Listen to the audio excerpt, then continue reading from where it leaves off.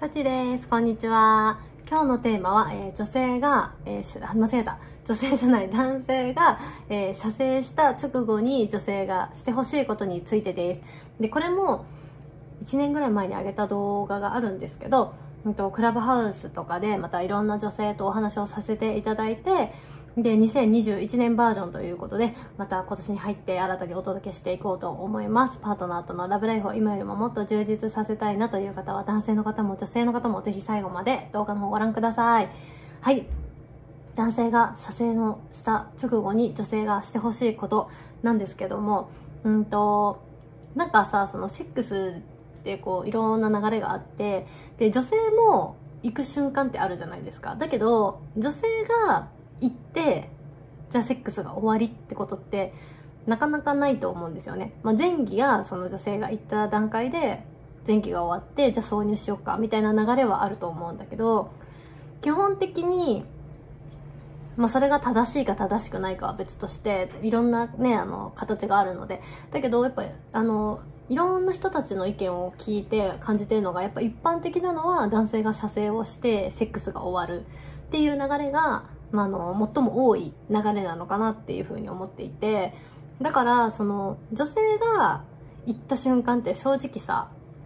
まあその行った瞬間でたまたま塩を吹く女性とかはいるからまあなんかねあのその辺がちょっと塩で濡れてしまうとかそういうのはあると思うんだけど男性が行った瞬間っていうのはやっぱこう射精という行為があるわけじゃないですか。だからその射精という行為含めその直後に女性が何をしてほしいのかっていうところなんですよ。でこれはま男性が言っているんだからそんなことをなんかその後までねなんか女性にあれしろこれしろって言われたくないよっていうようなコメントもたまにいただくんですけどあのー別にそれをしなきゃいけないっていうわけじゃなくてあのね私のこの YouTube を発信している意味っていうのがそのなかなか女性がこうパートナーの男性に言えないような女性の本音を私が代わりに、えー、お届けするというあのテーマなんですよ。でそれを聞いて、まあ、男性があ自分のパートナーの女性もそういうふうに思ってるのかなっていうふうに気づいてくれたりとかあとはこの動画を見てくれている女性の方が、あ、こういう風に思ってるのって私だけじゃなかったんだとか、そういう風に思ってもらって、で、それが、あの、いろんなカップルとか、ご夫婦のラブライフを充実させることにつながればいいなと思って、私はこう、女性の本音という形でお届けをしているっていうことなので、それをなんか男性が無理にやらなきゃいけないとか、そういうわけではなくて、まあ、こういうふうに女性は考えてるけど、なかなかパートナーの男性に言えないっていう人が多いんだよっていう感じで聞いてもらえればと思うんですけど、そのね、男性が射精をした後っていうのは、割とね、あの、お話を聞いてると、もうなんか、例えば、あの、正常位で、じゃあ男性が射精しましたってなった時に、もうそのままふーって疲れて、あのね、自分のね、体の上にね、乗ったまま寝ちゃう人とかもいるんだって。なんか、すごいびっくりして私その話聞いた時に、なんかさ、重いじゃないですか。しかも寝ちゃったら全体重超かかってくるじゃないですか。だけど、もうそれで果てたまま寝ちゃったっていうパターンがあったらしくて。で、しかもなんかゴムしたまま入ってるまんまだから、女性もちょっと気持ち悪いじゃないですか。まあ、だんだんね、その男性器も小さくなってきて、まあ、自然と抜けてはくるんだろうけど、なんかゴムしたまま、なんかニョロンって入ってるし、重たいし、でもなんか言えなくて、すごいあの時困りましたみたいなお話も聞いたことあるし、だけどそれってね、なんか嫌じゃないですか。だから、その終わった後にしたいことって、まあ、なんかその、すぐさ、パッて切り替えてシャワー浴びに行きたいっていう男性もいるし、そういう女性もいるんだけど、やっぱあの、どんな女性とお話をしていても共通してしてほしいなっていう意見が多かったことっていうのが、やっぱそのさ、セックスがすごく気持ちよかったっていうことを二人で共有したいというかさ、だからさ、なんかさ、気持ちよかったよって言ったりとかその男性が射精した後でも見つめ合ってキスをするとかハグをするとかなんかそういう時間がなんかすごく幸せって思ってる女性がすごく多くてもちろんそのセックスの最中もすごく愛し合ってるんだけどだけど男性がその射精した瞬間にじゃあその時間はい終わりってなっちゃうのはやっぱ寂しいなっていう。だからこう流れ的にさその後に、まあ、シャワーを浴びに行ってでお互い、まあ、ベッドに戻ってくるのかその後服を着て解散なのかはわからないけどなんかさその体をこう、まあ、綺麗にして、まあ、シャワー浴びないっていう人たちもいるけど、まあ、シャワー浴びた体でさ、浴びて、で、戻ってきて服を着て、それでさ、その後ももう一回ハグをしてキスをするぐらいのところまでがセックスっていう風に考えてもらえると、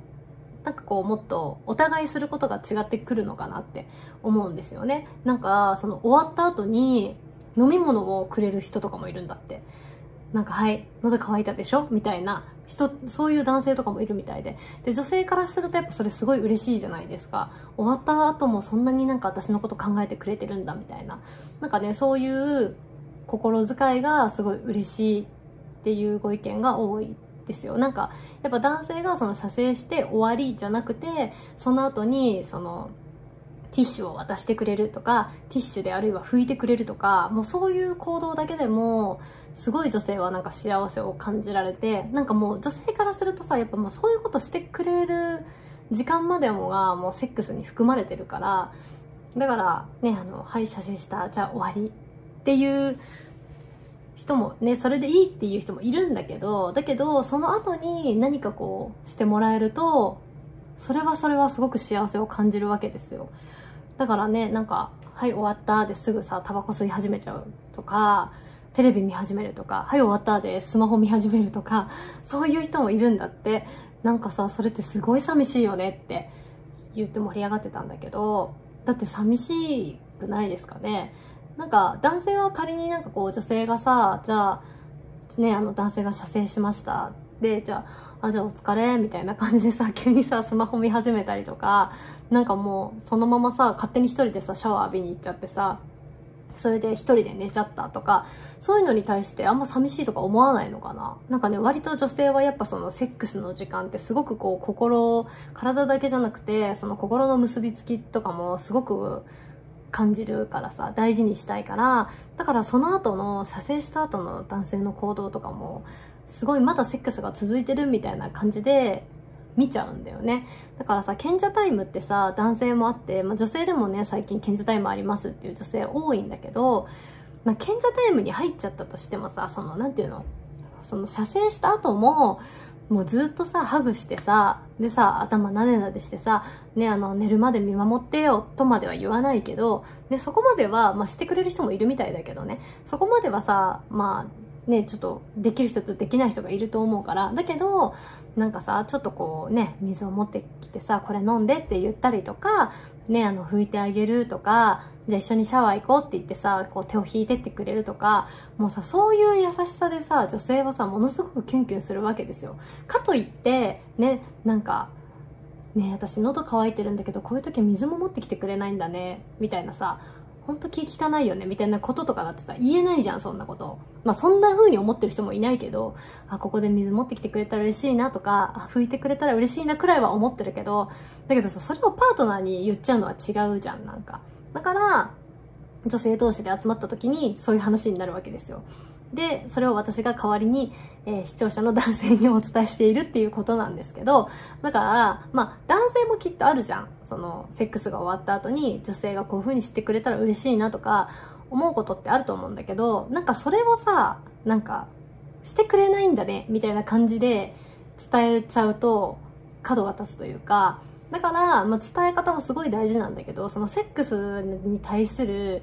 要望とか、を相手に伝えるってすごい難しいから。だから、あの、私の動画を参考にしていただけると嬉しいのかなと思うんですけど、その射精の後に女性がしてほしいことというか、してもらえたらすごく嬉しいことっていうのは、もうその後の時間までもセックスに含まれてるっていう風に女性が思ってるってことを意識してもらえると、